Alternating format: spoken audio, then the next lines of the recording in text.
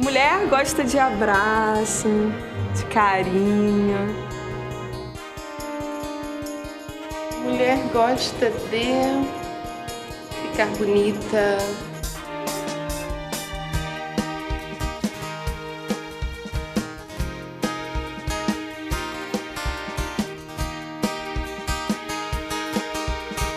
A gente quer ser feliz. Mulher quer ter o seu espaço.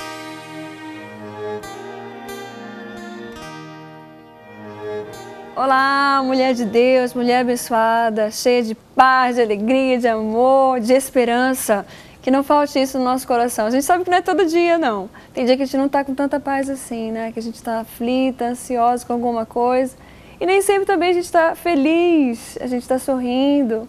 Mas eu acho que quando a gente tem o Senhor nas nossas vidas, apesar de ver essas tempestades, essas situações difíceis, a gente sabe que tem um propósito e por isso continua avante. Não deixa a tristeza, não deixa a ansiedade nos desanimar, nem nos paralisar. E por isso continuamos com muita fé, com muita alegria e com muita força para vencer cada desafio que aparece na nossa vida, né? Olha só, acordar cedo, colocar o café da manhã, arrumar as coisas em casa, pegar as crianças, dar banho, levar para a escola, daí correr para o trabalho, depois, pegar as crianças na escola, almoçar, levar de novo para uma atividade, correr para o trabalho, chegar em casa, arrumar toda a bagunça, ler um livro ou meditar na Bíblia e aí dormir. Que horas você vai dormir depois dessa correria?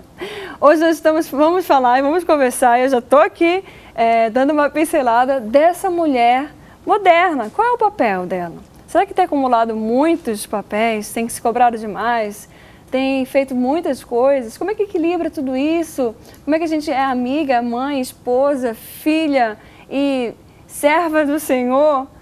Será que tem tempo para tudo isso? Como é que a gente organiza essa agenda?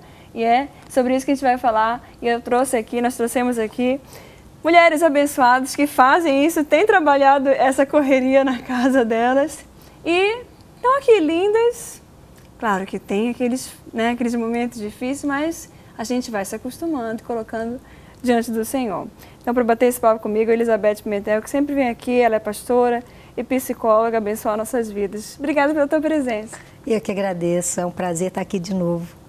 Vamos conversar, hein? Vamos. Colocar aí, é, esclarecer, né? Eu acho que é bacana também a gente é, exemplificar como é que a gente faz, como é que a gente tem feito, que, eu, que essa coisa da prática leva a pessoa a refletir e analisar de uma maneira mais clara. Temos aqui a Adriana Félix também, que é já de casa, pastora e coach de mulheres. E tem feito bastante coisa aí, né? Trabalhos bastante especiais, coisa. coisas novas. Coisas Obrigada novas, pela tua presença. Coisa nova. Eu que agradeço mais uma vez. Aqui eu fico muito feliz cada vez que eu recebo um convite. Eu falo, oba, tô lá de novo. Por favor, apresentem o que vocês têm feito, né? Sim. né? Nesse bate-papo. E vamos ter um louvor abençoado com a Kelly Blima. Tudo bom? Tudo ótimo, graças a Deus, alegria imensa retornar a essa casa que sempre nos abraça com tanto carinho. Prazer estar aqui com vocês. Prazerzão Deus é nosso. Obrigada. Fala um pouquinho como é que tem sido o teu trabalho, essa história com o Ministério de Louvor. Então, eu sou mãe de quatro filhos, como todos que acompanham aqui já nos conhecem, e a gente tem com a ajuda do Senhor e pedindo sabedoria sempre a Ele, a gente tem tentado administrar ministério, casa, família e por aí vai. E nós atendemos no, no Rio e Brasil todo como cantora ou como ministrando a palavra para mulheres ou para família. E nós temos avançado. Estamos hoje lançando aqui duas canções novas Ei, do novo maravilha. CD com exclusividade. Deus do impossível. Isso. Sobre a tua palavra.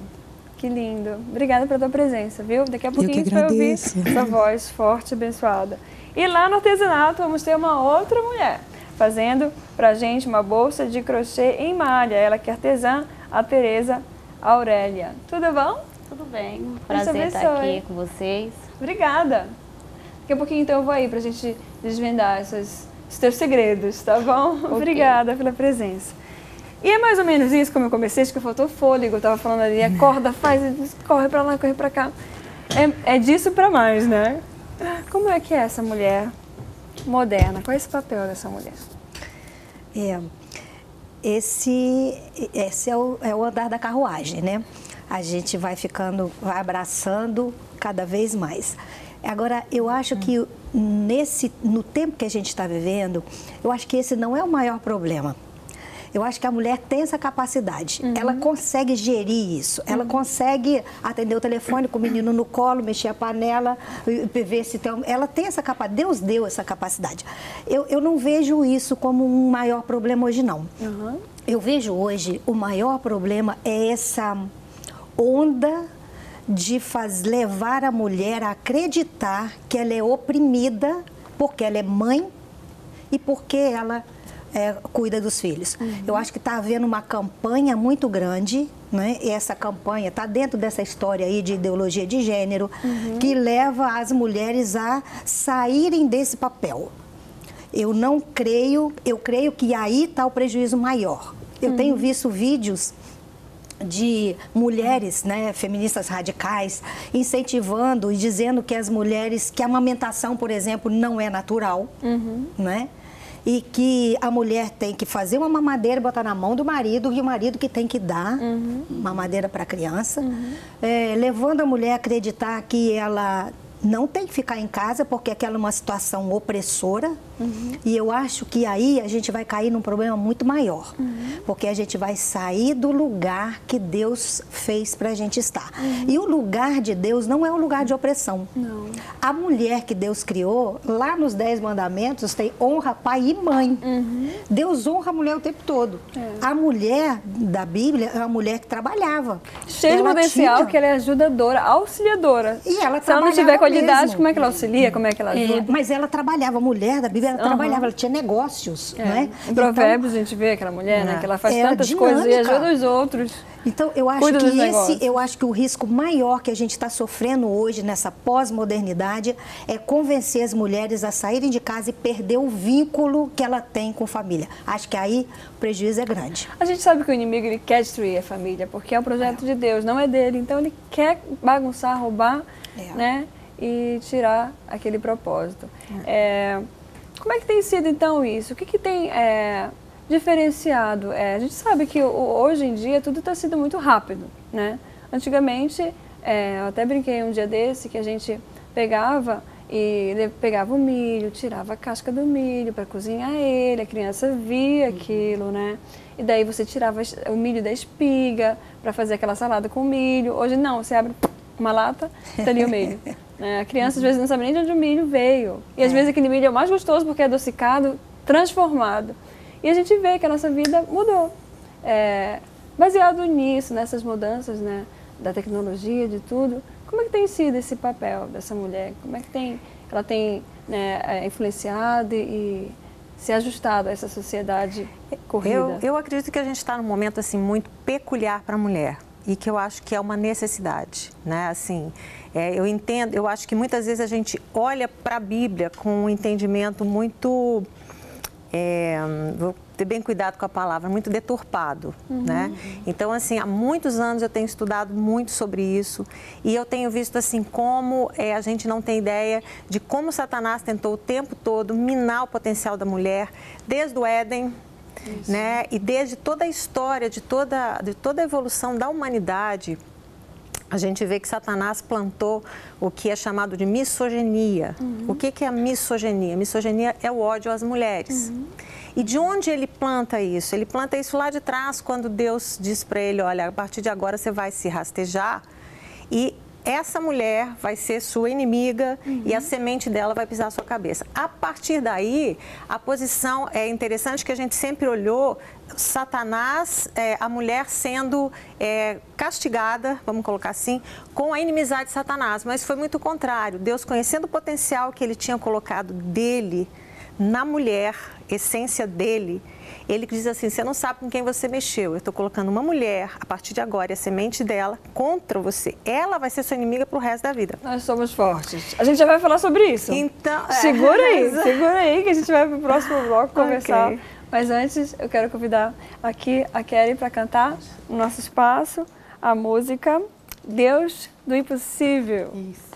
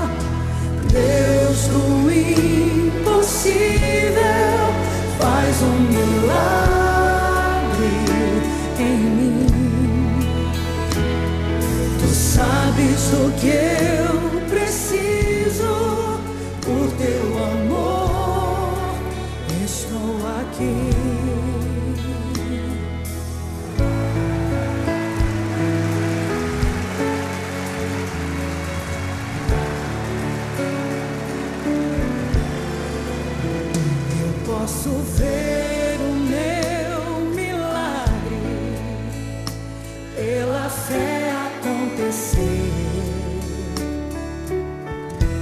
Ouço a voz da multidão, sei que o Mestre está aqui. Ele pode me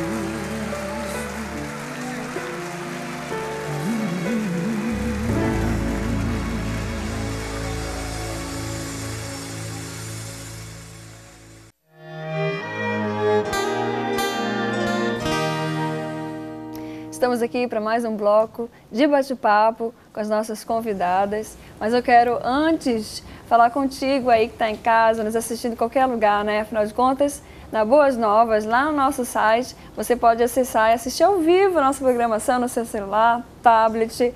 E isso é muito legal, porque você não precisa ficar ali no, né, só em casa assistindo, não. A nossa programação vai aonde você estiver. Além disso, você também pode entrar lá no nosso canal no YouTube e rever todos os programas que foram pro ar. Então vai lá, aquele programa que você gostou de assistir, compartilha com a sua amiga. É um assunto que você sabe que ela é, precisa receber, uma informação bacana. Compartilha lá com seus amigos, pega o link ali, eu tenho feito muito isso. Compartilho e a gente vai abençoando e multiplicando aquela palavra, que não fica só naquele dia não, né?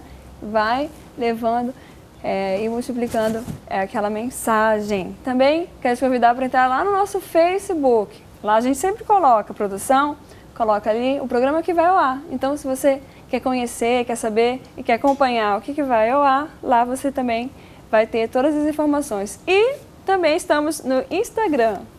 Veja lá as fotos, nossos convidados, conheça é, os nossos temas que vão também ao ar e ali você continua nos abençoando. Quero convidar você para quando entrar no site ou então pode também ligar para cá para a gente e se tornar um semeador. A Boas Novas, ela conta com esses parceiros, que é uma multidão de gente, é um trabalho de formiguinha, né? Não são poucos que fazem muito não, são muitos fazendo pouquinho, mas que faz toda a diferença. Nós vamos continuar multiplicando essa mensagem de boas novas pelo Brasil e pelo mundo. Deus te abençoe. Bom, vamos continuar conversando aqui sobre essa questão, o papel da mulher moderna. O que, a gente tem visto de novo? O que, é esse moderno? Vamos falar? eu estava até no, no, bloco anterior, então eu estava falando sobre esse ódio e como esse ódio, como esse Isso, ódio mudou, né? Na verdade, uhum. é toda todo Você falou do inimigo, de né? Deus. Da é. mulher com o inimigo. Mudou todo o plano de Deus, porque se a gente for pensar no casamento que Deus estabeleceu, é o casamento que havia no Éden. Isso. Esse é o casamento que Deus estabeleceu. Então, no casamento que Deus estabelece, ele ali no Éden, ele cria, ele chama os dois para iniciar um projeto que era o projeto era o projeto de Deus, que era toda a humanidade. Então ele começa com um casal e ele vem para os dois, olha, eu quero que vocês multipliquem, que vocês encham a terra, que vocês dominem sobre os animais, sobre as plantas, sobre toda a natureza. Então, assim, é, é, o que a gente tem que fazer uma releitura de como a graça nos alcança como mulheres e como o desejo de Deus é que a gente volte nos nossos relacionamentos da forma como Deus estabeleceu no Éden. Então, quando entra o domínio, ele é fruto da queda. Uhum. Quando entra a, a, a, força opressora, ele é fruto do Éden. Até esse sentimento de culpa, né? A Nós somos culpadas. Éden. E uma coisa uma muito coisa, um, séria peso. é a superioridade. Uhum. Ela é do Éden. Uhum. Então, quando a gente traz o machismo, ele é fruto de pecado. O feminismo, ele é fruto do pecado. Porque, é, na verdade, são ideologias. Não é nenhuma ideologia de gênero. Porque quando a gente fala de ideologia de gênero, ela já tem uma conotação muito pejorativa desses uhum. últimos anos, tentando trazer à tona o que é desequilíbrio, que é totalmente contrário à palavra, é. olhando para o lado dessa luta que tem tido aí. Mas o desejo de Deus sempre foi que o casal andasse em unidade. Então, quando Deus cria a mulher e ele traz a mulher como uma Ézer, a palavra no hebraico é Ézer, ela, ela é uma forte ajudadora. Está presente, mas, atuante. Mas a palavra forte me chama a atenção. Ele diz que é uma forte ajudadora e idônea. O uhum. que, que é uma idônea? No inglês é fit, que é o que vai encaixar perfeitamente. Então ele traz uma forte, uma Ézer, que vai ser uma com ele não tem domínio, não tem, não tem, não tem liderança. Isso é uhum. é importante a gente entender que ali Deus chama o casal para o grande propósito dele. E ele traz uma coisa que é incrível, e essa é, esse termo Ézer, ele é um vocábulo militar. E quando esse Ézer é usado no vocábulo militar dentro da cultura hebraica, ele não fala de, ele não é um pequeno exército, eles são falanges, uhum. ou seja, não é um exército. É, é o movimento, é, é a potência uhum. de pequenos exércitos, é mais abrangente. Então ele, ele vem dizendo, olha, então eu estou te trazendo alguém que é como você, uhum. que é forte para fazer tudo que precisa ser feito. Então, quando Satanás vem, ele quebra exatamente isso e começa a ver então um domínio que nunca foi do desejo de Deus. Uhum.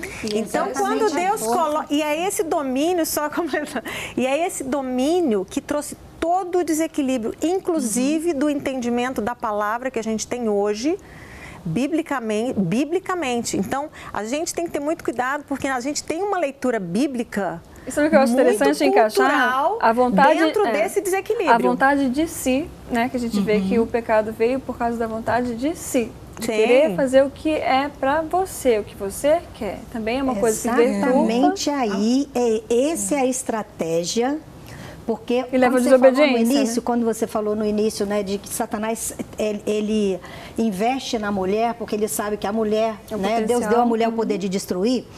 E, e ele investe Como é exatamente que é? Deus deu à mulher o poder de ele ele investe na mulher porque ah. a mulher, Deus deu a mulher, ele não falou, a, a descendência da mulher vai pisar ah, em você. Okay, a descendência da mulher. Então, de destruir, né? Sim, é, não, aí eu assustei. É, a destruição né, vem eu da descendência assim. da mulher. Isso. Então, Sim. Mas a mulher, ela tem uma, a, a, a, palavra de Deus diz que a mulher edifica a hum. casa. A mulher tem essa coisa de, de edificar, ela construir, tem o coração né, construído. eu me lembro de, de peças para levantar. A história de, de da Susana Wesley. Ela, essa mulher teve 19 filhos. Não é? Ela ensinou todos os filhos, ela orava, ela orava duas, duas horas por dia, uhum. ela alfabetizou todos os filhos dela, uhum. não é? e ela, ela conseguia estrutura para fazer tudo isso e a vida dela foi um caos, uhum. não é? porque ela não teve apoio de marido, de nada. Uhum. Então foi uma mulher muito forte. Agora, quando a questão que eu falei antes da ideologia de gênero, ela está incluída nisso, por quê? Porque o alvo é tirar a mulher dessa estrutura para enfraquecer a estrutura. É. Sim. Se enfraquece a estrutura. E ela nem existe muitas vezes por conta disso. É, é se enfraquece. Aí como que eles vão tirar a mulher de dentro de casa e enfraquecer a estrutura? Uhum. Fazendo isso que você falou, enchendo do si, é. do, eu, do, eu, né? É. Você merece, a, você, você, merece pode, se realizar, você pode. Você também você, consegue. Não, você a questão consegue. que você falou, eu vi um, uma, um uhum. vídeo de uma feminista falando, eu fiquei também assustadíssima, ela falando assim mesmo o meu corpo é o que manda nele. É, exatamente. Então, se eu de repente engravidar, porque agi, porque agi fiz um ato que uhum, é para é, isso, né? Aham, e aí engravidei porque não me cuidei. Exatamente. Eu, tenho, eu, posso muito bem tirar o meu bebê, ou que, que, que, nem meu, eles falam, é como se fosse uma coisa assim estranha. Aquele é. ser estranho de dentro de mim que eu nem conheço. É então é uma coisa muito fria. É, é, verdade, é muito fria. É Mas tem muito. Olha, eu trouxe que aqui. É se você me deixar ler aqui, olha só, eu trouxe aqui algumas frases uhum. dessas ideólogos de, de gênero. Uma delas é, é a Simone de Beauvoir. Ela diz assim: nenhuma mulher deveria ser autorizada a ficar dentro de casa criando filhos. Autorizada. Isso é, o que, é, é a essência da ideologia de uhum. gênero. Nenhuma mulher deveria ser autorizada a ficar em casa criando filho, porque se as mulheres, elas não deveriam ter essa opção exatamente porque se existir essa opção, muitas vão optar por elas. A Simone de a, a Sulamite Firestone, que é outra ideóloga, ela diz: "A reprodução da espécie humana deve, deveria ser separada do sexo.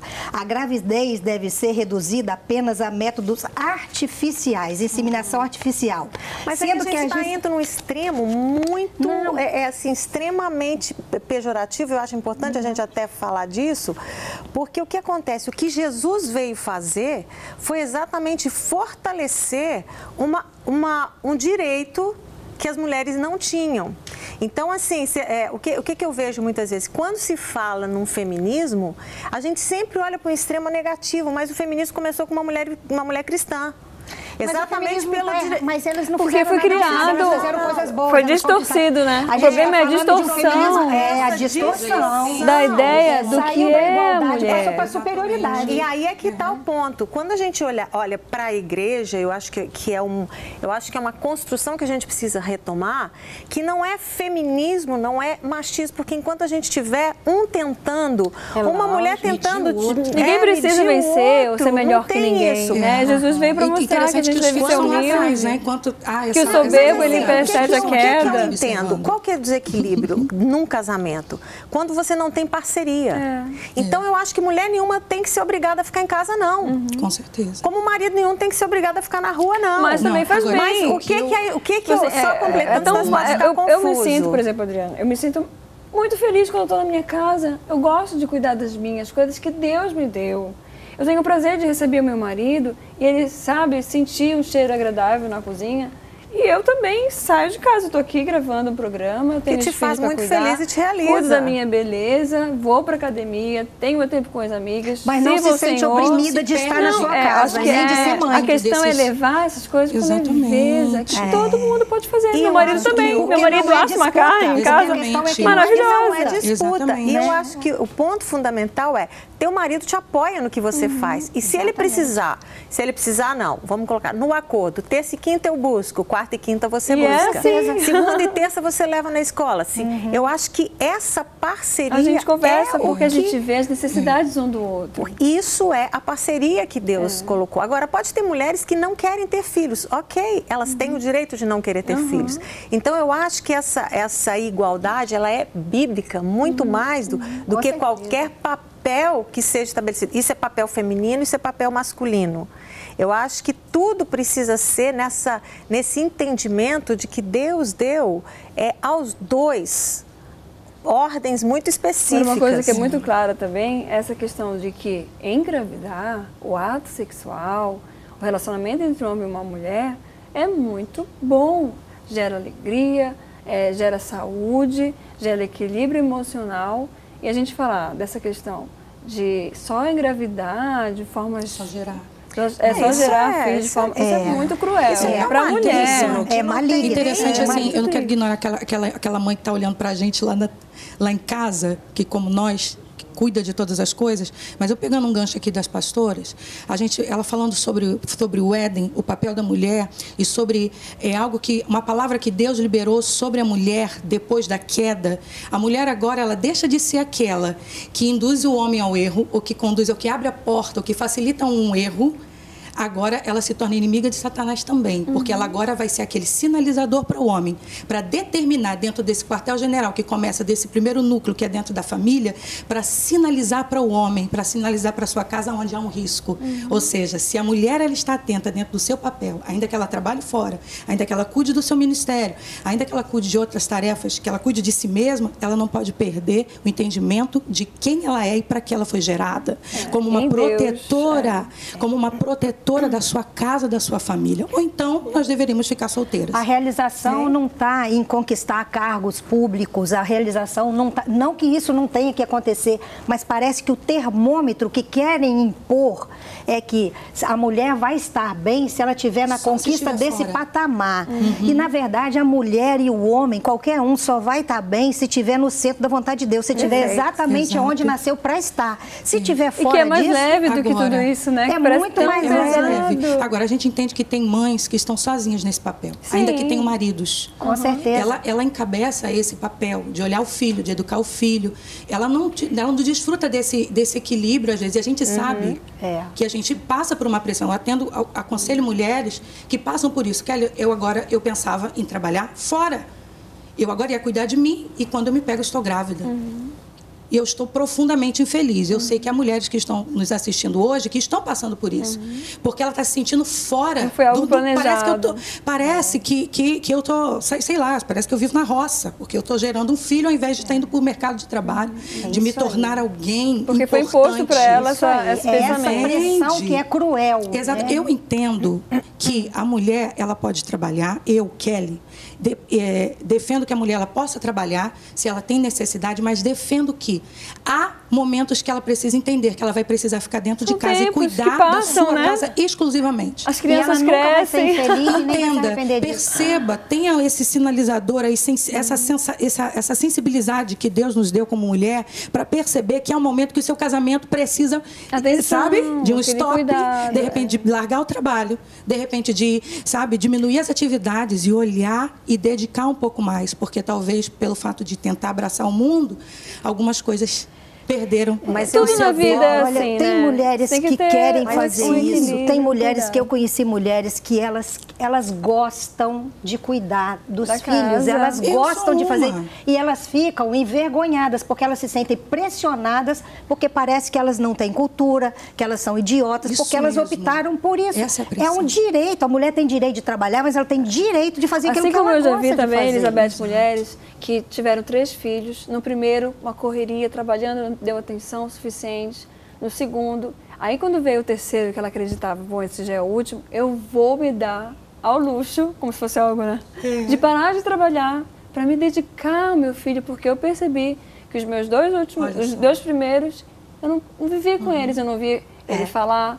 Gente, a vida é isso. É isso, a vida não é feita de exatamente. coisas. É porque a gente está cercado dessa mulher de moderna que é posições, coisa, é, né? E de São posições, coisas, né? Eu acho Mas eu acho que, de qualquer forma, tudo tem que ser avaliado cada caso. Aham, sem dúvida. Então, se é o casal, ok, vamos ter o primeiro filho, vamos. Mas eu acho muito cruel também o marido dizer para a esposa dizer assim, não, agora nós tivemos filhos, eu não quero que você trabalhe mais. Então, uhum. eu, eu, tudo acho que tem que ser muito conversado. Então, o que, que eu tenho visto muito? Comunicação. Imposições é não são saudáveis. Imposições não são saudáveis. Uhum, eu acho que pode ser sim. Eu conheço esposas, mulheres, que foram extremamente bem-sucedidas na educação dos seus filhos, muitas vezes, muitas vezes melhor do que uma mãe que ficou em casa. Uhum. E ela trabalhou todo o minha tempo. Mãe, minha mãe foi assim. Então, eu acho pública, que não pode haver peso, nem de um lado muito bem colocado pela, pela Elizabeth, né? Nem de um lado nem do outro, mas se respeitar o direito de dizer não, eu vou dar uma estrutura boa, marido, vamos dar uma estrutura. Eu não quero abrir mão agora. É importante a minha, a minha carreira. Eu acho que a gente tem que dar para a mulher a leveza também uhum. dela dizer, principalmente dentro do nosso meio uhum. evangélico, que a gente tem um certo julgamento bem ruim, sim, uhum. da mulher que trabalha fora quando ela é cristã. É infelizmente, é verdade. né? Mas a gente essa tem é uma realidade que a gente não tem como é fugir, né? Não, é, mas Porque a gente a tem um peso. Nosso trabalho o dia inteiro fora, é, há um peso. É. Uhum. Então, todo desequilíbrio, você tem uma cobrança para sair, mas você tem também também uma uhum, cobrança se sai. É. Né? Então, assim, eu acho que tudo precisa ser avaliado. O casamento junto, dizer, você está disposta a abrir mão? Quanto tempo? Um mês, dois meses? Abrir, uma mulher abrir mão dois meses, três meses, um ano ela perde de um lado e ela ganha de outro. Então, esse equilíbrio Agora, ele é gente, é fundamental, é, é, porque a mulher pode ficar em casa, mas pode ser extremamente frustrante ficar em casa, ela pode acabar com o casamento uhum. dela, ser uma mãe ríspida, amarga. amarga. Então, cada é. caso Geral, ela vai acabar cobrando, vai acabar cobrando do, do filho, marido, vai cobrar do colocando filho, a, jogando, olha, abandonei tudo por colocando a culpa, né? É. Não, agora, agora vamos... quando tem o equilíbrio de marido e mulher nessa é. combinação é perfeito, Nossa. porque aí o diálogo um é fundamental. e aí volta ao Éden. Exatamente. O diálogo é fundamental. Agora vamos colocar aqui em relação a essa mulher que a gente está falando moderna. Que antigamente a mulher, ela realmente era aquele papel que a gente via, né? Por isso que a gente está falando aqui tanto. Que ela estava mais no lar, mas as mesmas 24 horas que existia antes, existem hoje. E ela estava em ação. Sim. Né? A, a, gente vê que hoje, por exemplo, a gente compra um enxoval. Antigamente as mulheres faziam o enxoval. Então ela sempre estava ativa, contribuindo. Ela não estava ali, como parece que é à toa. Cuidar de uma casa, a gente, a gente não contrata mulheres para cuidar da nossa casa, né?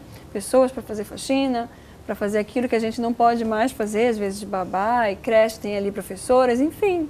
E é, é, a gente vê esse papel agora, essa, esse, esse perfil dessa mulher agora, que ela está, é, por conta dos casamentos que estão sendo desfeitos de uma forma muito mais acelerada. Antigamente, o casamento lhe durava, vamos dizer, 20, 30, 50 anos, e hoje em dia o casamento de um ano já termina.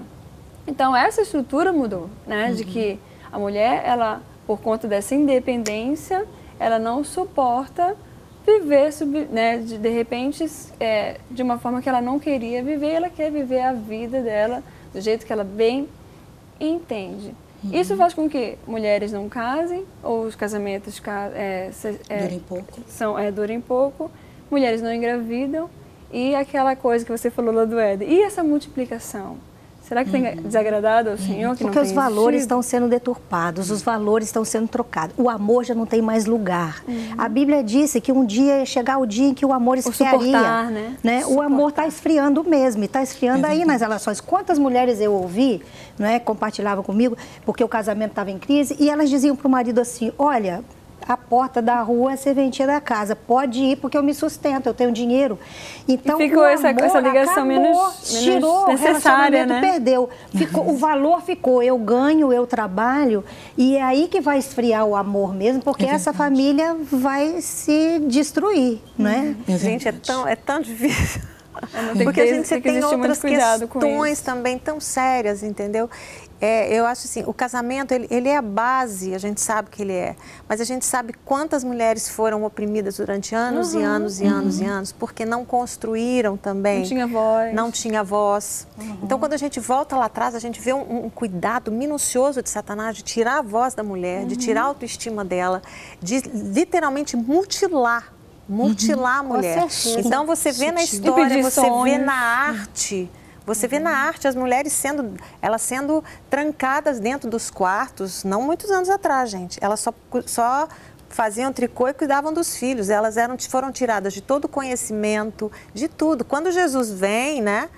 Ele foi o primeiro que começou a dar voz à mulher, porque na verdade, eu digo que assim, ela não tinha voz de nada. Se ela presenciasse um assassinato, ela não era testemunho, porque ela não era, ela era coisa. Uhum. Coisa nenhuma, eu, eu diria. Os rabinos atravessavam a rua porque olhavam para a mulher como alguém maligno. Mas ela sempre foi então, a cuidadora e ensinadora, porque era ela que criava sim, os filhos digo, instruídos é. na Torá, né, na, na mas, lei, Luana, e eles cresciam não, sabendo. Ela, ela nem podia instruir na Torá porque ela não sabia, ela não tinha uhum. acesso. Era para a mulher ensinar a Torá, eles diziam culturalmente, não muito tempo que era, era melhor rasgar a Torá do que uma mulher ter acesso ao conhecimento. Uhum. Então, quando Jesus vem e fala assim, vem cá, filha, senta aqui, porque se você escolheu a melhor parte, Jesus está simplesmente rasgando toda, não é nem a Torá, é o outro livro das 600 e tantas leis em cima da Torá. Ou seja, ele está dizendo, o seu lugar é aqui, é conhecendo as minhas, o que é espiritual, me conhecendo. Então, a solução então, e a resposta está sendo voltar para a palavra. A resposta para tudo na verdade, isso. deu voz para elas. É. O, acho que, o, o, que a gente está saindo de um lado é, para o outro, a gente está saindo de um é, radical para o outro. Eu acho que a questão é o equilíbrio, equilíbrio encaixar isso tudo. Veja o que, que é bom para você, coloca diante do uhum. Senhor, porque Ele vai despertar tudo isso e vai colocar tudo em ordem, né? Essa é a nossa oração. Daqui a pouco a gente volta com mais espaço feminino.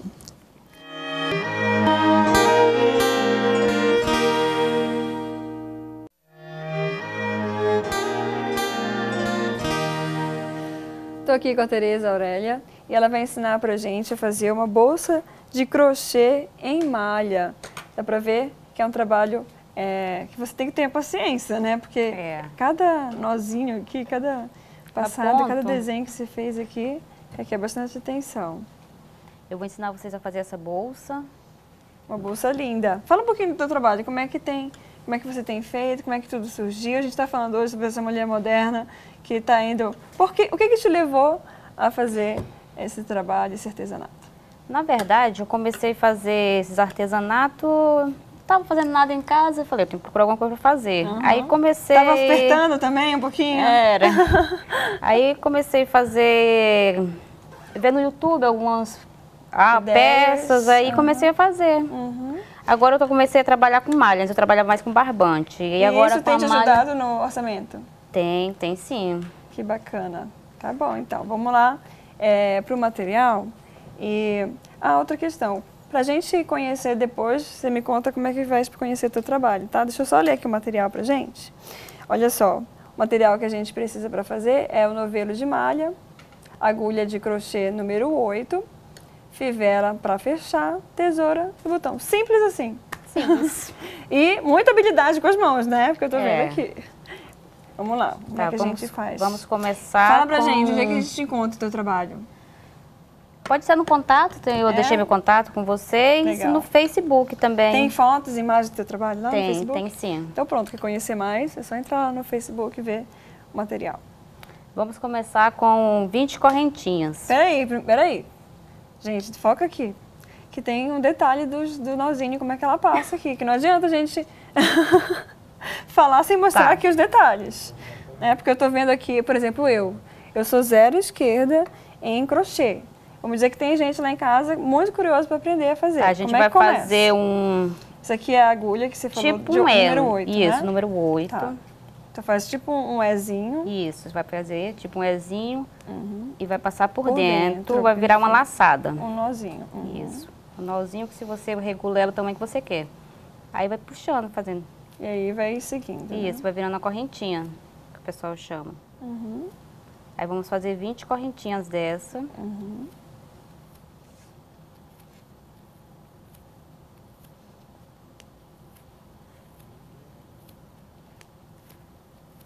Conta desde a primeira? Isso, desde a primeira. Igual uma trança, né? Isso, na verdade virou uma trança. Uhum. Vocês vão fazer 20 correntinhas. Feito as 20, vamos contar. Um, dois, vai voltar na terceira correntinha uhum. e fazer um ponto baixo. Outro ponto baixo. Das 20, vai virar 20 ponto baixo. Uhum. Agora fazer isso mais devagar pra gente ver como é que é esse ponto baixo, direitinho. Ponto baixo, você vai Enfiar, enfiar frente, agulha, vai Puxar puxar. pro mesmo lugar que você entrou. Uhum. Isso, vai puxar. E vai passar tudo uma vez. E dois que ficou Isso. tá. Vai enfiar de novo. E vai puxar tudo de uma vez. Olha, tem que prestar muita atenção. Mas depois que você vai fazendo, né? Claro que você vai começar fazendo devagar. Isso. Vai praticando e vai virar uma coisa mais natural. En- Entendendo o desenho, né, que você vai fazendo. A malha, por ser grossa, ela, tá, ela vai enrolando, mas quando, conforme você vai fazendo, ela vai criando forma. Aham. Essa que você está fazendo é esse primeiro desenho aqui. Isso. Que a bolsa toda é só isso aqui. Uhum. Você vai começar a fazer as- os, 10, os 20 pontos baixos, aí vai voltar de novo e você vai fazer uma sequência Vai de 30 subindo. carreiras. Entendi. Igual. Uhum. Eu vou fazer até o final aqui para vocês verem e vou mostrar. E fica esse retângulo, né? Isso, que aí a- o jeito de você fechar ele que vai virar essa carteira. Aham, E é uma estrutura bem rígida, né? Que você fez o nó bem apertadinho, né? Isso Dá, dá pra ver aqui que não fica aquele, né, folga. Não, não dá. Se Bem você quiser, na verdade, nem precisa de forro, porque Aham. quando É. você colocar aqui, ela Já tá bem ajustado. bem ajustadinha, você pode colocar o que quiser, não vai cair. E vai praticando. Aí a gente vai fazendo isso, vai orando. Isso. Né? Vai lendo, vai estudando, vai ouvindo uma coisa. É, porque isso aqui, na verdade, agora é só repetição. Vai conversando com as amigas. Isso mesmo. ensinando os filhos.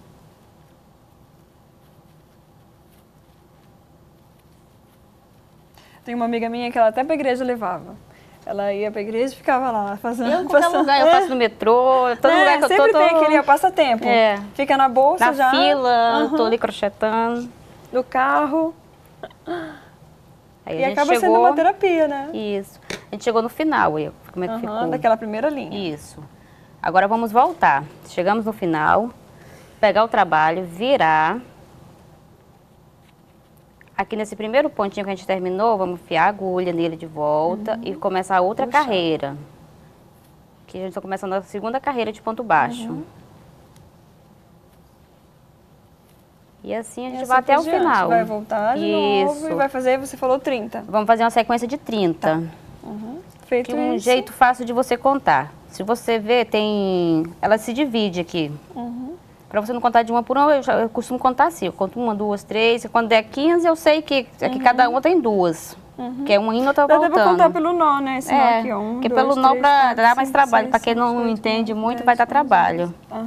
Mas aqui, cada, cada fileirinha dessa é duas, é uma ida e uma volta. Tá. Então dá para você saber. Se contando as fileirinhas, vai saber quantos que você já tem, para não Uhum. se perder.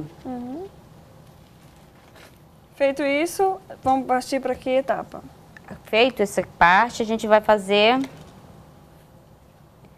esse pedacinho aqui para colocar um botão, que é esse aqui. Aham, para encaixar. Isso, eu vou desmanchar o meu aqui, que eu já tinha feito.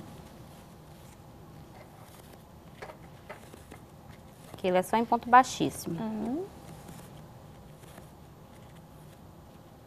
Então, a última, a última, a última fileira, Isso, a última fileira. Vamos supor, se vocês quiserem fazer uma bolsa maior, isso aqui é de acordo com cada um. Vamos supor que eu quisesse uma bolsa maior do que essa, não fosse uma carteira, virasse uma bolsa mesmo.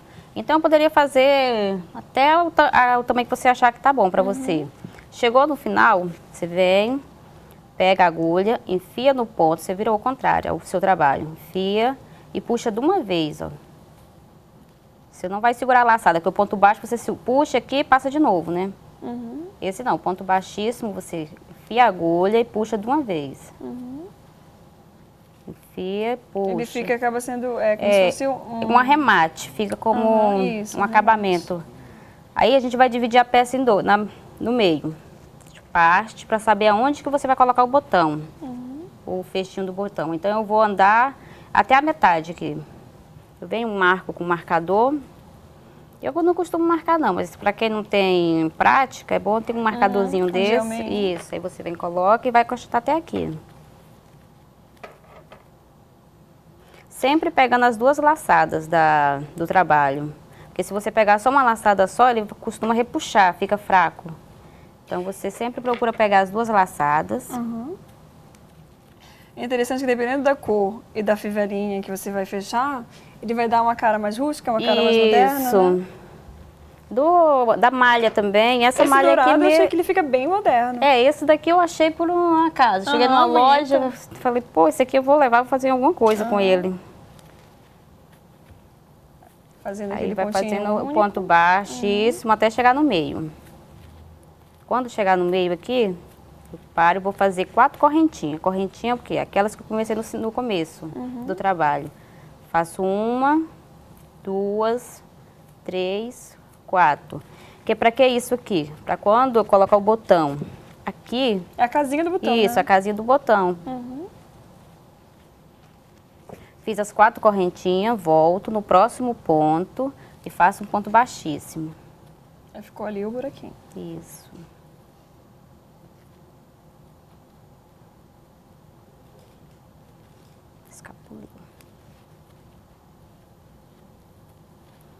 E continuo em ponto baixíssimo até chegar no final da peça.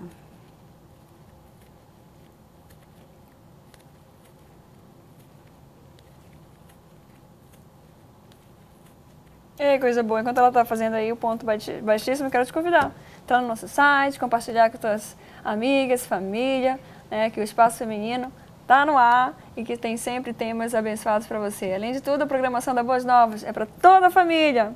Então compartilha também essa bênção aí com todo mundo. Pronto, Chegando- aqui finalizamos. Isso, finalizamos o trabalho. Aí amarramos o fio. E aqui mesmo você começa a esconder seu fio. Uhum. Eu escondo com essa agulha mesmo, mas tem gente que prefere pegar aquelas agulhas tapeceiro para esconder por dentro. Eu não, Uhum. eu já puxo aqui e vou escondendo ele aqui dentro. Você corta aquele pedacinho, né? E vai Isso. com esse pedacinho trabalhando para esconder. Esconder para o pessoal não ficar um acabamento mais bonito. Bom, daqui a pouquinho a gente volta para finalizar a bolsa e mais bate-papo. Deus te abençoe.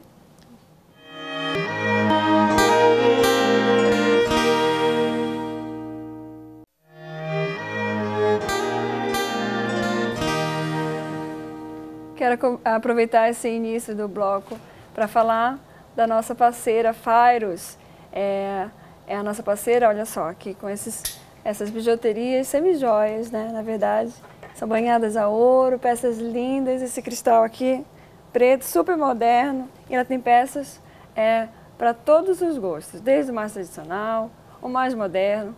Eu estou me sentindo aqui linda. Eu quero também é, apresentar esse trabalho para você, porque eu tenho certeza que você também quer se sentir cada vez mais bonita, quer aproveitar o dia para se cuidar, né? E a gente também, utilizando é, peças assim, a gente também mostra que a gente se ama, que a gente se cuida. E a nossa parceira está aí o contato dela, para você entrar em contato. Ela distribui para o Brasil inteiro, chega aí na sua casa e você se sente ainda mais especial. Obrigada, Valéria, por essa parceria abençoada. Bom, estamos aqui para finalizar a bolsa é, que ela está fazendo aqui para gente. E aí chegou a parte do botão, né? Agora vamos costurar a lateral Ah, da bolsa. costurar a lateral. Isso. Entendi. A gente vai pegar o- a bolsa e dividir em três partes. fechar, né, Isso, vamos fechar as laterais entendi. agora. Vamos dividir ela em três partes iguais. Você viu? Tá divididinha. Uhum. Aí vamos pegar uma agulha de tapeceiro, passar o fio dela, o mesmo fio que você usou para fazer a bolsa, você vai costurar ela na lateral. Vamos pegar a pontinha final aqui, uma ponta, e vamos colocar lá onde foi dividida as três partes. Aqui eu vou dar para vocês dar Ah, essa é como dobra. se fosse aquela costura normal, né? Isso, é uma costura normal. Uhum, pra Você ajustar esse dobrou, tá vendo se, tá o- se o tamanho tá certo, tá bom para você. Se vocês quisessem aumentar para ficar com Menos, a tampa menos, ah, menos menorzinho, isso, poderia fazer assim. Ou a posição que vocês quiserem colocar, você pode colocar. Isso é a gosto de cada um. Uhum. Aí venho aqui. E vamos fazer uma costura normal. Entre um ponto e outro. Quando você vai fechando aí, eu quero agradecer as nossas convidadas pelo bate-papo. Foi quente, né, hoje? E falar de coisas assim importantes é, esse- é desse jeito mesmo, né? Obrigada, viu? Elizabeth Pimentel é, que é pastora e psicóloga. Muito obrigada pela tua presença. Contatos é, estão no ar, tá bom? A Adriana Félix também. É, tem feito trabalhos, né? Vocês têm feito trabalhos é, aí, é, então entrando no YouTube, é, feito palestras através da, é, eu estou lançando agora um workshop, um workshop online, totalmente online, totalmente gratuito a partir da semana que vem. Então, pelo meu endereço você consegue se cadastrar e receber assim muita informação. São cinco aulas totalmente gratuitas sobre o a, a propósito de Deus para a mulher. Perfeito. Amém. Tá vendo? E a Elizabeth? Tem. Eu tenho um canal no YouTube também uhum. que tem uma série de mensagens. Eu comecei há três semanas uma mensagem sobre perdão que está abençoado, abençoando muitas pessoas. E no meu site também tem todos os meus contatos para ministrações, para palestra e então, para consultório também. Então daqui a gente vai finalizando aqui a bolsa e eu quero convidar a Kelly para vir para cá cantar e adorar o Senhor. Pastoras, líderes. Então é isso, setembro, edificadoras. Deus abençoe, a paz.